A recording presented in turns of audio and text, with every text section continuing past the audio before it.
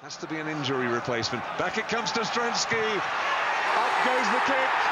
Up goes the wall. Stransky has kicked his head. And with two minutes gone in the second period of extra time, South Africa's dream is alive once more.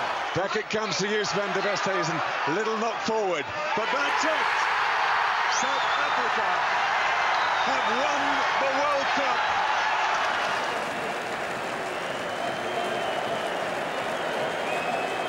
The president to the captain.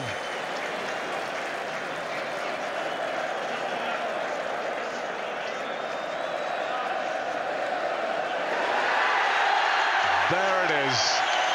Francois Pienaar. And Nelson Mandela is cheering along with the whole of the stadium.